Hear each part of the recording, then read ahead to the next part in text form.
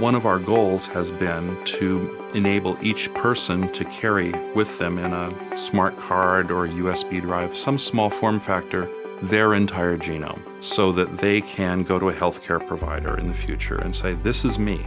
And this follows from some work that I pioneered and others pioneered 10 years ago or more. There's a couple of techniques. One is called chunking, and the way you do that is you break things up into pieces. You do it deterministically and you store it. Then you get another piece and you say, Well, have I stored this before? And if you already have it, then you don't have to store it again.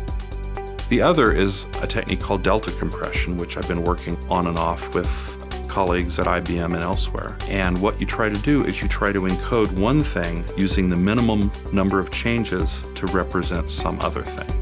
So what we've done in terms of genomics is we take the reference genome and then we take your genome and we only record the differences. What's really enabled the work for me here in terms of genomic data has been the presence of the bioinformatics group and David Haussler's research and David himself. At the end of the day, I need real data in order to validate these algorithms because it's not about the optimal performance of this algorithm in the best case. It's about the performance of this algorithm on millions or billions of genomes and has to work well all the time.